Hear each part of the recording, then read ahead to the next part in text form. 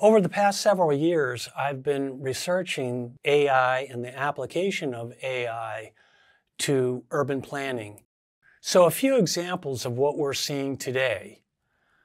The San Francisco County Transportation Authority uses data from autonomous vehicles to inform urban planning. It uses data to analyze traffic patterns, identify congestion hotspots, and determine where improvements can be made in the transportation system. These data driven insights inform decisions about lane additions, changes in parking regulations, and adjustments to the public transportation system. We're also hearing a lot about smart cities. Amsterdam is one of the leading smart cities in Europe, leveraging AI in a multitude of ways for urban planning.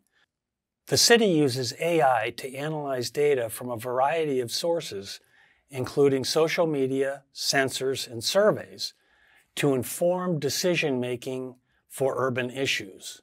For example, the uh, Amsterdam Smart City Initiative has projects dedicated to optimizing energy usage, improving waste management, and enhancing the overall quality of life for its residents the projects and their progress are openly tracked on the Amsterdam Smart City website.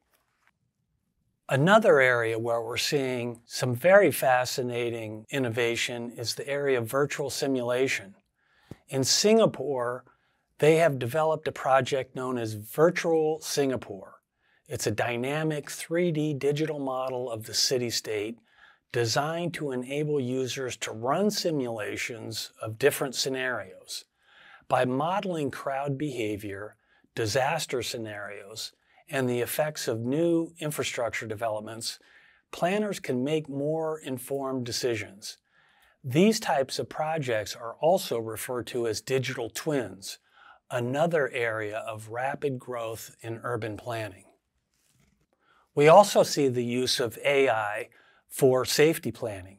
The Los Angeles Police Department used AI to predict crime hotspots with an application called PredPol.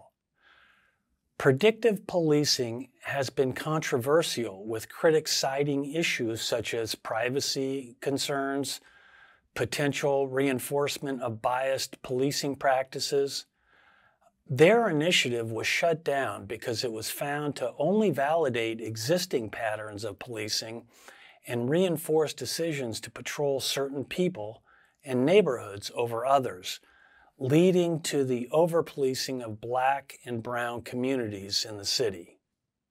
And the city of Barcelona, Spain, is very popular for its uses of technology.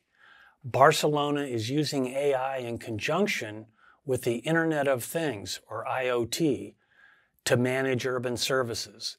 The city has deployed sensors throughout its urban landscape to manage things like waste management, parking, and even monitor the health of public gardens.